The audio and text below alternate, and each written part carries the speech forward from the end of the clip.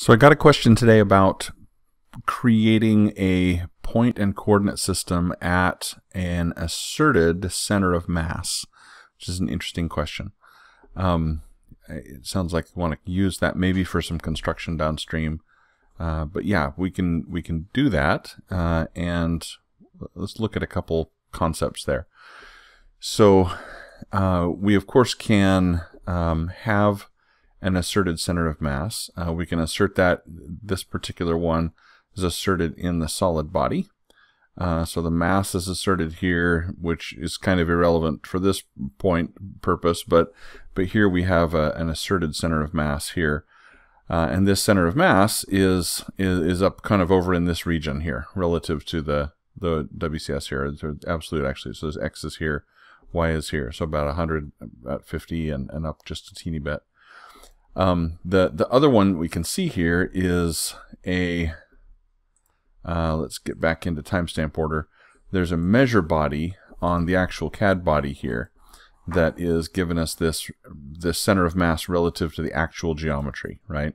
And then the users created a, a datum coordinate system on top of that. And um, th this is what we can do here. So, so relative to the mass properties down here, we do have some customer defaults in here that we can use to create expressions relative to those uh, mass properties.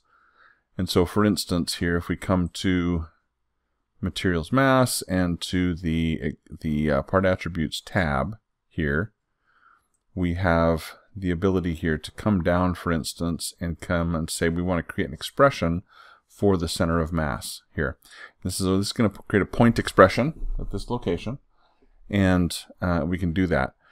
Now we don't have one to do a coordinate system there. We we can come down here to principal axes, right? Uh, but and we can export those, but we we don't have a way to create a, a coordinate system directly for those. Um, so we're going to do a little workaround for that. but but with that coordinate, with this uh, environment variable, sorry, with this uh, customer default set, and uh, I've I've actually restarted NX here. Um, if I update the properties for this part, you will notice here in the expressions, if we do tools expressions or control E, that we have here now a mass prop center of mass expression. Again, that's driven by mass management that is the, the location here. Okay. Now one little kind of word of caution, if we're using a, an expression driven by mass management, then anytime we update the mass properties, we're going to start to create this in all of the parts out there. And as we create this in all of the parts, it's going to need to load the expressions partition for each of the parts out there. And that is not part of minimal load, right? Expressions is part of a, at least a partial load there. So, so in order to create these points in all the parts, we're going to need to at least partially load all the parts to do that. Uh, so just a word of caution there. That's that's part of part of the baggage of what how, how this works. But at any rate, we can create that expression, right? And once we've created that expression, we can come in and create a point and say we want to do a point at an expression or by expression. Choose that by expression option. And we can choose that mass prop center of mass as the location uh, for this point. And as we do that there, you see it'll create an associative point out there at that location. Okay. Now, relative to the assertion, if we come in here and say, for instance, for this body, uh, we want to move that y coordinate, this this kind of this direction. It's 50 right now, and if we want to make that say 250, then as we update the mass here, we'll see that point update as well. Okay, that's going to follow that expression over to that new location. So again, we have a point entity now uh, that's in in the model, this point now that's being driven by the expression coming from uh, the mass properties tool. Okay, so that's kind of the first step. Okay, uh, so with that, uh, again, yeah, we can take that. Let's bring that back to say 150 just for fun. There we go, and uh, again, that'll that'll move there. Okay, now coordinate system here.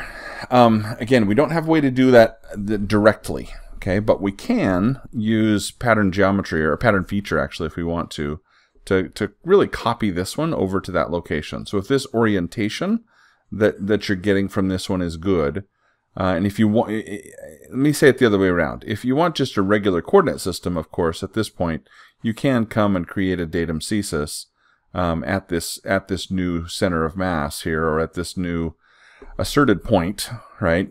And uh, and we can do that, right? So we can say that that we're going to create that there. It's going to be associative. We want it at that location, and, and we can just say okay, and and this will create then uh, again new coordinate system that is sitting um, sitting at that point, right? And, and again, as if we come and, and we, we change our center of mass here, then that uh, that coordinate system. Oh, it didn't come. let's do that a little a little more stickily. so let's come back here to this guy and delete that. Let's do that once more with feeling. We'll create a datum CSYS here. And this time, uh, instead of dynamic, yeah, let's do one of the options here where it's going to uh, stick to something. So let's do like an origin, actually do an origin x, x, x y axes. So x-axis, y-axis, origin. Let's do that. So our origin point here, we're going to do this, and we'll choose an existing point this time, right? So this this should be associative there x-axis here, we'll, we'll have it be the x-axis, and the y will have it be the y. So this should be associative now. So let's do that. There we go. And now, as we come and edit this offset, let's make that 150. As we update here, this should come along for the ride now. There we go. So that's associative. Okay. So that's that's one option, right? Uh, I'm going to hide that one here just because I want to do this this uh, rotated one as well. Um, this took a second to figure out, but, but, but, but figured it out. So, so here we can use pattern feature here if we want to. So for instance, we could start with this coordinate system that's on the other, on the other side here. This is this datum coordinate system 8. That's this guy. Okay. Um, it does say choose your pattern method carefully because we're not going to change it later. but I'm going to do a linear pattern here and uh, and we're going to do uh, specify the vector and the distance here in in an interesting way, right? So our vector here, we're going to choose the point-to-point -point method, two points here for our vector, and this again will be associative here, right? So I'm going to come to this this location and grab the the origin point there for the the coordinate system, and then choose this point over here, existing point here, as the second point, right? So that'll get my vector, and that'll be associative, right? Now that's the direction. Now the distance here, I need to make that associative as well. And so what I'm going to do is here is I'm going to use a measure on the distance. And uh, for this one, similarly, we're going to go, uh, we can go point to point, we can do object to object, because we have actually points here for the objects. So, so I'm going to come again to here and grab that point uh, origin of the datum coordinate system there. So that's my first object. And my second object is going to be this other point. And that distance there you see is being saved. This will be associative uh, here for the uh, for the distance. Okay, so we've got an associative direction, associative distance here, and we're going to do a linear pattern with two instances. So this will do the, the first and, and the second here. Um, and, and this will be a simple pattern, right? We're just going to copy it over there. So if we say OK there, here you see we've got that, that datum coordinate system now is uh, copied over there. Okay. So here again, uh, if we come in and edit our uh, assertion, this now, when we update, should remain associative, and it does, right? So, so this is a method, right, if we want to, to, to create an associative point and coordinate system at an asserted um, center of mass. Uh, it's a it's a bit of a corner case. it's a unique use case here. First time I've come across it uh, but it is possible to do. Okay, so I hope you find that useful.